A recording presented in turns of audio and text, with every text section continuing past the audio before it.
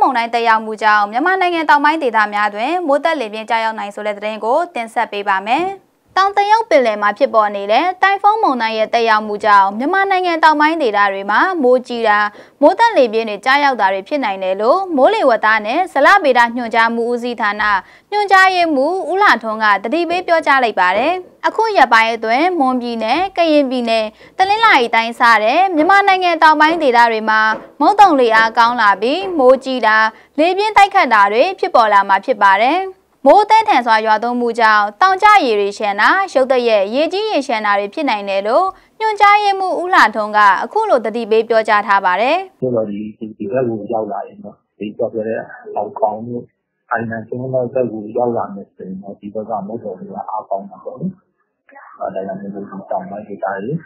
ဘုတော့အကောင်နဲ့မုံရတာနော်။ဒီကြားတဲ့ပတ်ကြတဲ့ဘုစက်တိုင်းများရင်တော့ဒါဒီဒီစံမျိုးပေါ့ ဒီဆန္ဒတွေပါ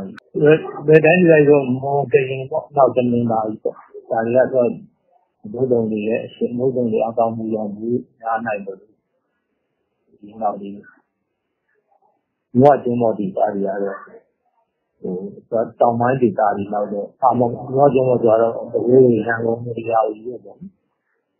ညာတွေကတော့ဒီညာတွေလည်းဒါဘုဒ္ဓံတွေအကောင်းဟိုဒီတောင်ပိုင်းဒေသတွေနောက်တော့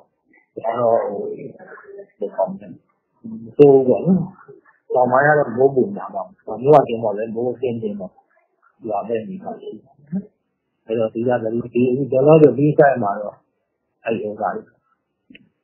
တောင်ပိုင်းပေါ်ကရင်တနေပါပြီပေါ့။နော်ဒီကတော့ဒီမိုးသုံးလေးရဲ့စက်တိုက်များဒီစိတ်ကမှာတော့ဒီရဲ့တိုင်းတောင်ကြရည်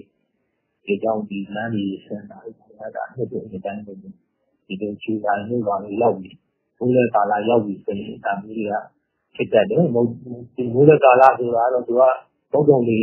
အားအကောင်းဆုံးကာလပေါ့နော်။အဲ့တော့ဒီလိုကာလနောက်ကဒီဘက်ကမြမကံယူရန်ဒေတာတလျှောက်မှာနေထိုင်ကြသူတွေနဲ့ငါးဖမ်းထွက်မဲ့သူတွေအနေနဲ့လည်းအထူးတတိထားဖို့လိုအပ်တယ်လို့ဆိုပါတယ်။